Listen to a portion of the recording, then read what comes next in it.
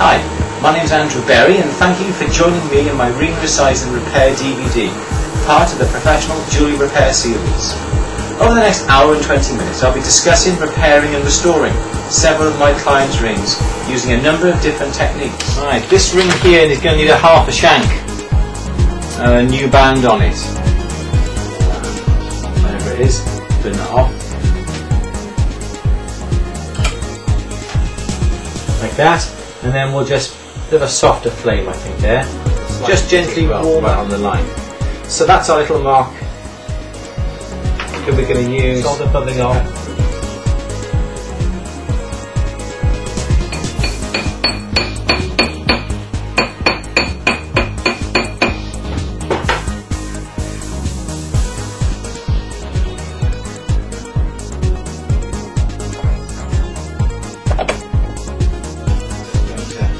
The blade on the side of my thumb to steady it. Just roll it around. Traction tighter, take it all the way around.